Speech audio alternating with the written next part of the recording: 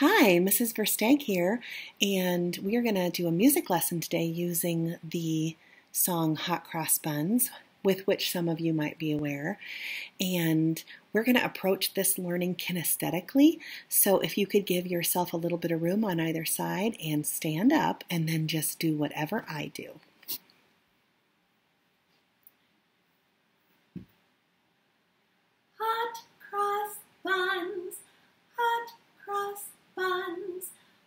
One a penny, two a penny, hot cross buns. Again, hot cross buns, hot cross buns.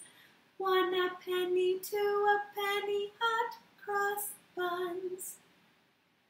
High, medium, low, high, medium, low. One a penny, two a penny, high, medium, low. Again, high, medium,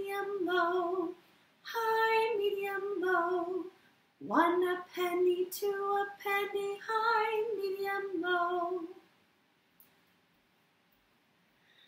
Hot Cross Buns will be the first song that we learn on our recorder, so it will be important that you're able to sing it accurately and also understand that in Hot Cross Buns, the pitches move from high to medium and low so that when you play that on your recorder, your fingers will know what to do.